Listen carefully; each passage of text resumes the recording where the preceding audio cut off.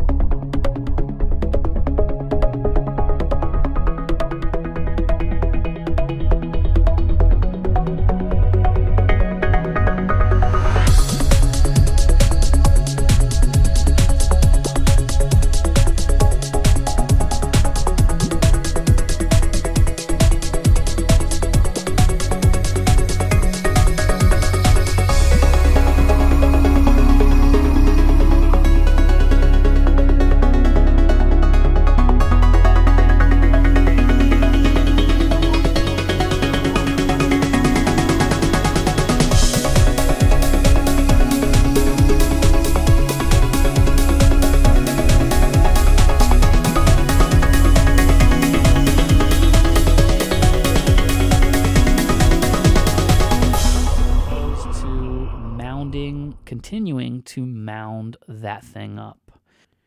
All right, everybody. So I'm going to go ahead and wrap this tutorial up.